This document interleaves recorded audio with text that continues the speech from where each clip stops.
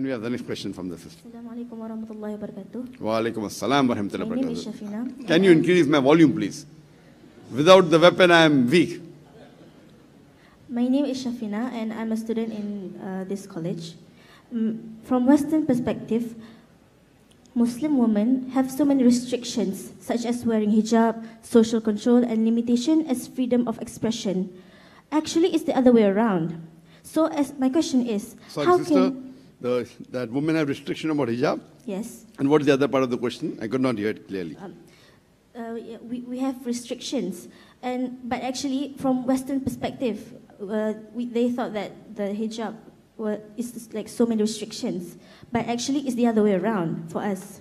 So my question is, how can we, as Muslim, explain this message without any misunderstanding between Islam and other religions? Well, sister asked a very good question that though the Western world considers hijab as a restriction, as a subjugation, but it's an advantage, how can you explain? And mashallah, I was, I was there with the uh, Prime Minister of this country, and he told me this school, they have selected minimum those people who, who have IQ of 150 and above. So I can see that is the reason I'm getting questions like, why do the women have more advantages? and here the, here the sister rightly said that wearing hijab is actually correct. It's the Western world which says restriction. So how can we reply to them? Point number one, if you see in, in most of the religions, the scripture says that you should wear hijab. If you read the Bible, the Bible in the book of Deuteronomy, chapter number 22, verse number 5, says the men should not wear clothes with that, that pertinent to women, and women should not wear clothes that with pertinent to a man. If you read in the First Timothy chapter number 2, verse number 9, it says that women should be dressed up with sobriety and shamefacedness. They should not wear costly array and braided hair of gold. And in First Corinthians, it's mentioned in chapter number 7, verse number 5, it says that the woman that does not cover a hair, the woman that prayeth and does not cover a hair, head, she dishonors the head. Her head should be shaved off. Shaved off. So Bible actually is more strict than the Quran. And even if you read in Rigveda, it says that the woman should cover the head. So even in the Hindu scriptures, it says that woman should be covered the head.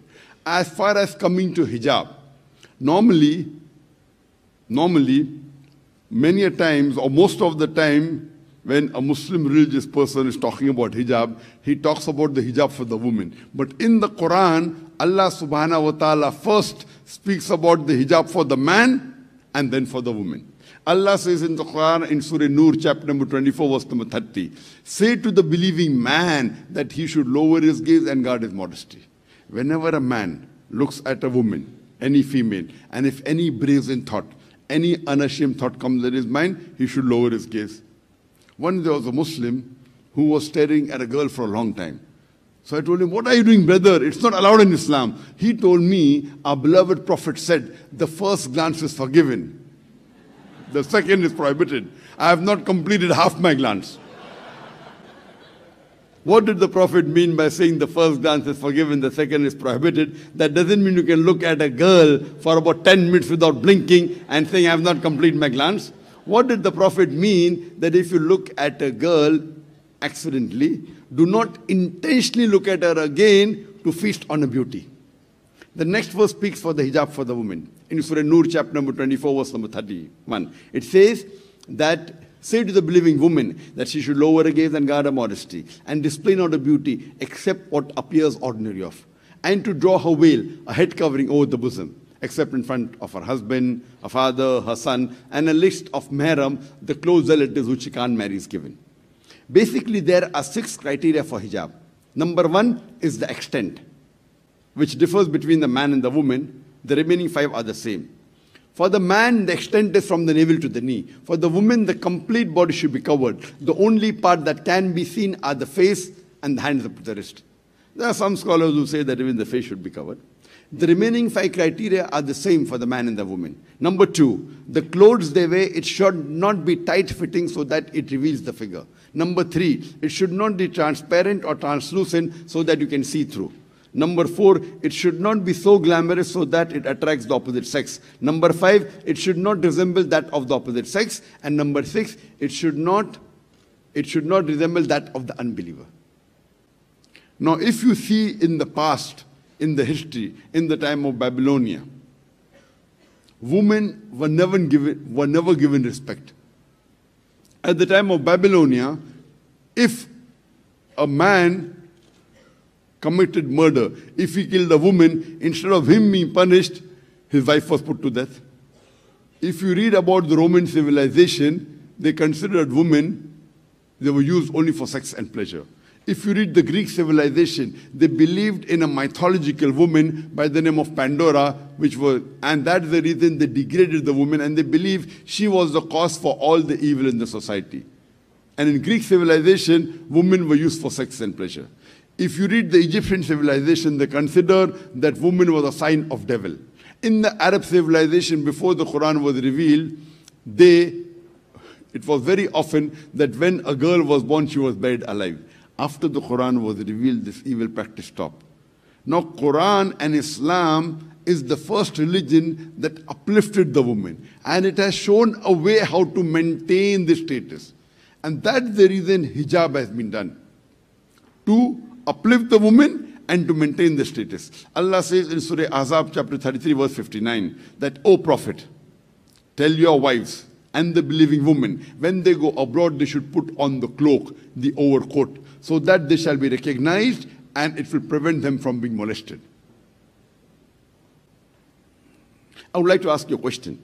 That suppose there are two twin sisters who are very beautiful, who are equally beautiful, and if they are walking down the streets of KL, and one of the twin sister, she is wearing the Islamic hijab, the complete body covered, except the face and the hands up to the wrist, and the other twin sister, she is wearing the Western clothes, maybe a mini skirt or a top with a very deep neck.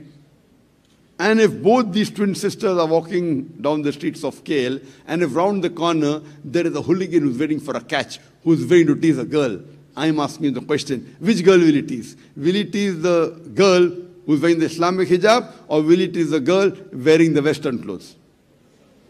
Western clothes. It's a simple question and a simple answer. You invite and you get trouble. So that's the reason Quran has clearly mentioned that hijab has been prescribed for the woman so that they shall be recognized, they shall be respected, and it will prevent them from being molested. So the reason hijab has been made compulsory for the women is to uplift them. Otherwise, they will go back as in the olden days.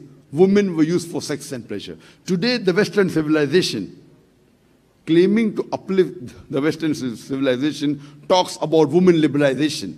This Western talk of women liberalization is nothing but a disguised form of exploitation of a body, of degradation of a soul, and deprivation of honor. The Western society claiming to uplift the woman have actually degraded her to a status of concubine, mistresses, and society butterflies, which are used, which are used nothing for sex and pleasure in the hands of pleasure seekers in the name of art and culture. The Western society talking about women liberalization and art and culture are only degrading the woman. And we see that. They say equality, equality, and you see it's common that whenever you see an ad, whether a woman has to be or not, invariably you'll find a woman. Even in the ad of a motorcycle. How many women ride motorcycle? Percentage wise, very small. But in the ad of a motorcycle, you, find, you, see, you'll find a woman. And I was told by someone that in a very famous ad of BMW, you know, BMW, it's supposed to be a very status car. It's in competition with Mercedes. And the youngsters, they like BMW because it's better pickup, fast. In one of the ads I was told of BMW, in that BMW advertisement, in front of the BMW car, there was a lady standing with a bikini, and the ad read, Test drive her now. Who, the girl or the car? What is the Western world doing? They are selling our mothers, they are selling, they are selling their wives, they are selling their daughters. If this selling your mothers and wives and daughters means subjugation, then we Muslims are happy to be subjugated. We are subjugated with the law of Allah subhanahu wa ta'ala. We want to be protected. We love our mothers, we love our wives, and we love our daughters. That is the reason this hijab, it protects uh, the woman, and we want our women to be protected and uplifted. Hope that answers the question.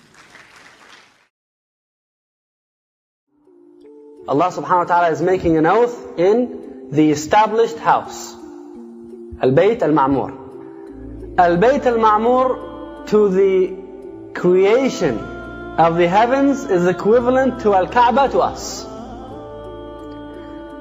Just as we make tawaf around Al-Kaaba, and it is the first house on earth established for the worship of Allah, the same thing is to be said about Al-Bayt al-Ma'mur. As Muslims would visit Al-Kaaba, angels will visit Al-Bayt al-Ma'mur.